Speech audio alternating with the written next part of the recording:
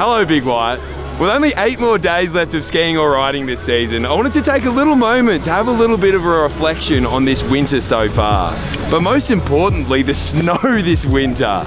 And make sure you stay tuned because we have some very big and very important news that's going to follow. But let's start off.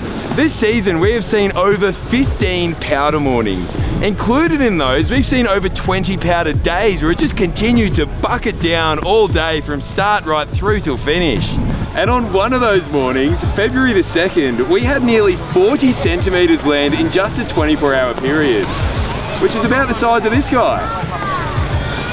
And right now, we are sitting at about one meter more snowfall than we were at this point last year which is about the size of my little friend Charlotte here. Say hi, Charlotte. Hi. Plus, we have a base that is sitting well over the three meter mark, and it has been since the start of March.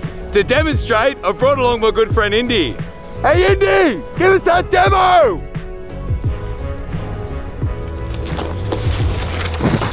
And so far this season, we have had a total accumulated snowfall of about nine meters. That's the height of the village centre mall. How tall do you reckon the VCM is? Oh mate, I've got no idea.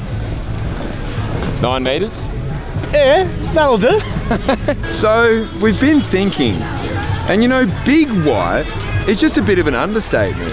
Big seems to just be an adjective which seems to be reserved for things which are relatively mediocre.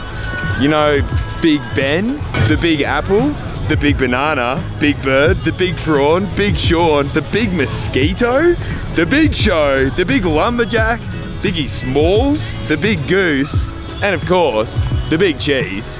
No, we are no longer in their league. There is nothing big about our ski resort here. So we are happy to announce that leading into summer, we are rebranding everything. And we are now going to be called Massive White.